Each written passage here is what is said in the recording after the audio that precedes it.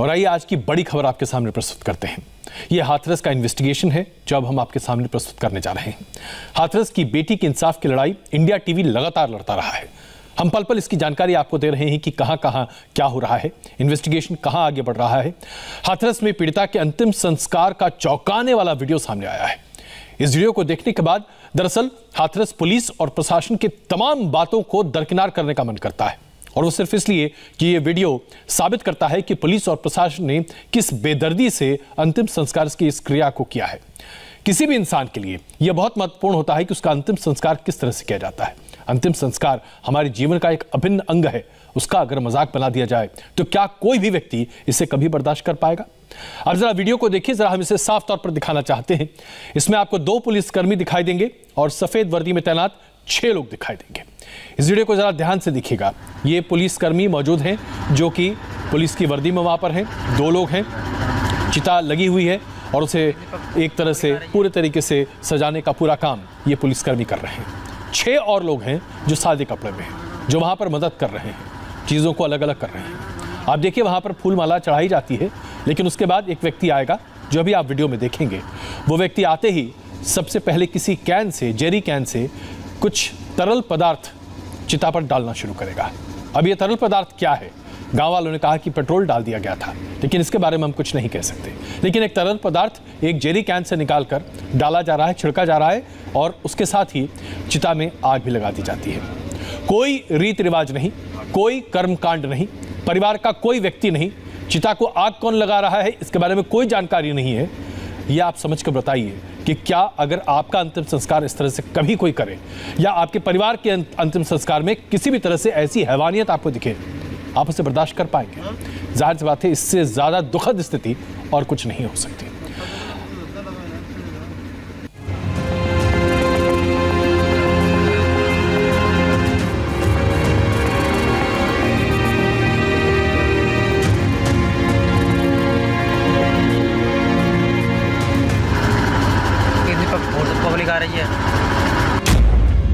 हाथरस की पीड़िता के अंतिम संस्कार का वीडियो आया सामने।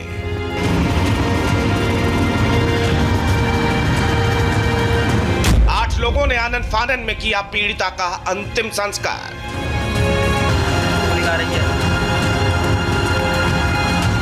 चिता को आग लगाने से पहले चढ़ाई फूल माला अंतिम संस्कार में दो पुलिस वाले और सादी वर्दी में छह लोग मौजूद। कैन से तेल डालकर चिता को लगाई आग। दो मिनट बीस सेकंड का यह वीडियो हाथरस की पीड़िता के अंतिम संस्कार का है। जब आधी रात पीड़िता का शव लेकर यूपी पुलिस हाथरस के गाँव में पहुँची थी। ये वीडियो देखकर आप हैरान रह जाएँगे कि क्या पुलिस इतनी निर्दयी हो सकती है। इस वीडियो में साफ़ दिख रहा है कि किस तरह पुलिस और प्रशासन के लोगों ने लाश को जलाया।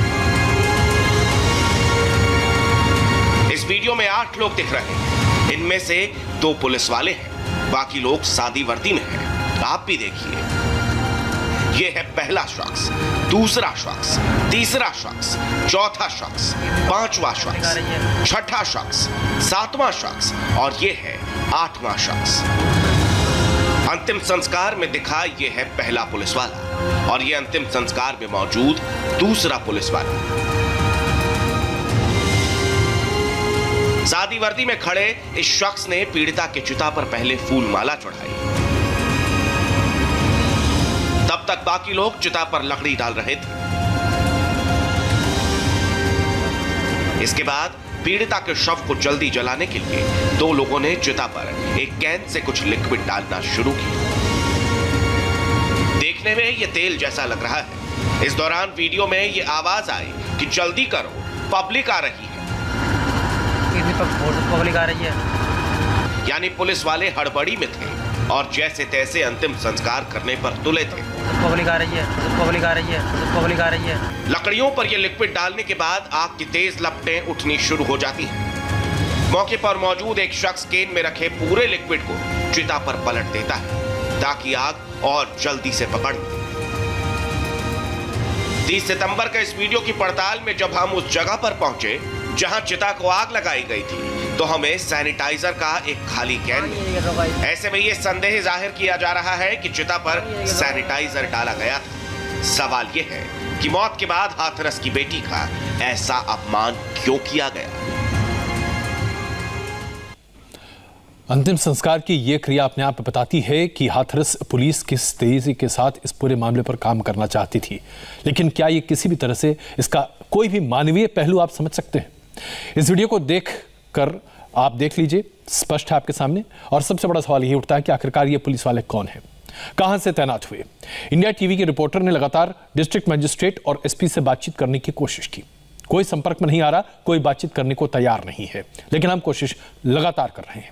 हमारे संवाददाता आनंद पांडे ने 30 सितंबर के इस वीडियो की ग्राउंड ज़ीरो पर जाकर यह पड़ताल की और समझने की कोशिश की कि पुलिस वालों को क्या ये वीडियो दिखाकर ये पूछा जा सकता है कि जनाब आपने जो किया, वो क्यों किया? देखिए हमारी एक्सक्लूसिव रिपोर्ट हाथरस की बेटी के अंतिम संस्कार का एक वीडियो वायरल हुआ है, जिसमें ये नज़र आ रहा है कि कोई भी घर का शख्स मौजूद नहीं है और अनजान जो लोग हैं और कुछ पुलिस वाले हैं, उस बेटी का अंतिम संस्कार कर रहे हैं। तो उस दिन से लेकर आज तक यहाँ पर पुलिस का भारी बंदोबस्त है और इसमें जो पुलिस वाले हैं, उनके बारे में हम जानकारी लेते हैं। सर, ये जो वीडियो है, जो हाथरस की बेटी का जो वीडियो है, जिसमें अंतिम संस्कार के जो पुलिस वाले दिख रहे हैं, क्या आप इनमें जान पहचानते हैं किसी को? जी नहीं। या फिर इतने दिन से आप यहाँ हैं ये जो ये गाँव के शख्स कहा जा रहा है कि गाँव के शख्स हैं क्या इनको आप जानते हैं? जी नहीं। तो इतने दिन से आप सुरक्षा में तैनात है ये जो पुलिस वाले हैं इनको आप पहचान रहे हैं? नहीं सर। और ये जो गैलन से कुछ डाला जा रहा है चिता के ऊपर ये क्या है सर ये? अब ये सर उधर जो है जो रहे होंगे जो उपस्थित है उन्हीं लोगों को जानकारी होगी। लेकिन ये तो इसी थाने के बताए जा रहे हैं जो, जो हम लोग पीएससी से है ना सर। ये ज़िले के जो होंगे उनसे जानकारी लेकिन इतने दिन से आप लोग यहाँ पे तैनात है आपने कभी तो इन पुलिस वालों को देखा होगा इसी थाने के ये हैं तो। ये लोग बाद में आए। हम लोग बाद में बाद में आए। लेकिन अगर मान लीजिए इसी थाने के पुलिस वाले हैं तो यहाँ तो आते ही होंगे क्योंकि उनके थाने के अंदर का मामला है? मैं तो जब ये काम हो चुका है इसके बाद में लगी। है बाद में आए हम लोग। उसके बाद ये कोई भी पुलिस वाला नहीं टकरा आप लोगों से? ना ना जिला वालों को जानते ही नहीं हम या यहाँ मौजूद होते तो देखे होते ज़िले के ज़िले का फोर्स है उनसे जो ज़िले का फोर्स है वो ही इनको बता सकते हैं। और जो ये वर्दी में है वर्दी वाले को तो आप लोग जानते हो वो तो आए होंगे और उनके थाने का मामला है अगर वो इसी थाने में है वो वो। थाने के सिपाही इनको बता सकते हैं सर कौन है ये? हम लोग पीएससी से हैं। क्या सर आप पहचानते हैं इनको? अरे हम लोग पीएससी का हम लोगों को कोई जानकारी नहीं है। लेकिन इतने दिनों से आप यहाँ की सुरक्षा में तो कभी तो ये पुलिस वाले आपसे टकराए। आज हम यहाँ हैं कल वहाँ हैं पीएससी हमारा पीएससी का है वो है सिस्टम जिला पुलिस वाला के तो कहोगे वो बता पाएँगे लेकिन आप लोग इतने दिन से यहाँ सुरक्षा में तैनात है ये पुलिस जो है जो पुलिस वाले वर्दी में इसमें दिख रहे हैं उनको तो पहचानते होंगे आप लोग। नहीं। तो यहाँ पे आए इतने दिनों में पंद्रह हम हमारे सामने कोई नहीं आए। और ये जो गाँव वाले जो दिख रहे हैं सर इसमें ये क्या है गाँव वाले हैं कौन है ये? गाँव वाला हमने आज तक देखे नहीं कौन गाँव वाला यहाँ है किसका है नहीं है फ़ोटो? ये जो अंतिम गाँव वाला से हमारी मुलाकात ही नहीं है यहाँ। गाँव वालों से हमारी कोई मुलाकात नहीं है। आप जो सुरक्षा में तैनात है यहाँ तो ये लोग आते ही होंगे कोई ना कोई तो आप टकराया होगा हमें कोई नहीं टकराया। क्या आप पहचानते हैं इनमें से किसी को? ये जो दिख रहे हैं इसमें और ये जो वर्दी में जो नज़र आ रहे हैं ये इतने दिनों से आप लोग यहाँ सुरक्षा में तैनात है, क्या कभी भी ये जो पुलिस वाले हैं जो कहा जा रहा है किसी थाने के होंगे ये ये कभी आप लोगों के नज़र में आए, यहाँ पे कभी उनसे मुलाकात हुई है, यहाँ पे आए हों? ये बता सकते हैं कि जो गैलन से डाला जा रहा है क्या है?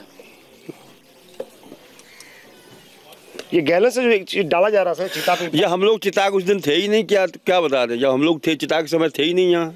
आप लोग बाहर की फोर्स हैं। जी हम पीएससी है।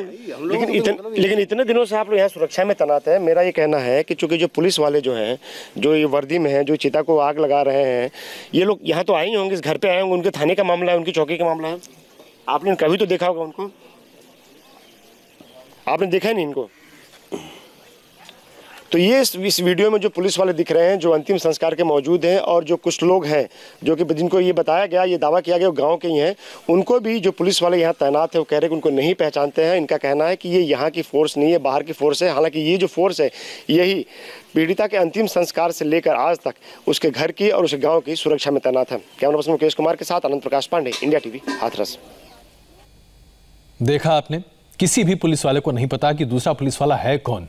शिनाख्त ही नहीं हो पा रही कि आखिरकार छह सफ़ेद कपड़ों में और दो पुलिस की वर्दी में ये आठ लोग कौन हैं? एक बार फिर इस वीडियो को देखिए और देखिए कि कितने निर्मम तरीके से अंतिम संस्कार किया जा रहा है पीड़िता का। और यह बताता है कि हथरा- हाथरस पुलिस की असल सच्चाई क्या है। पीड़िता के अंतिम संस्कार का पूरा सच आपने देखा, लेकिन हाथरस के जॉइंट मजिस्ट्रेट का अंतिम संस्कार पर क्या कहना है यह आपको एक छोटे से ब्रेक के बाद दिखाएँगे।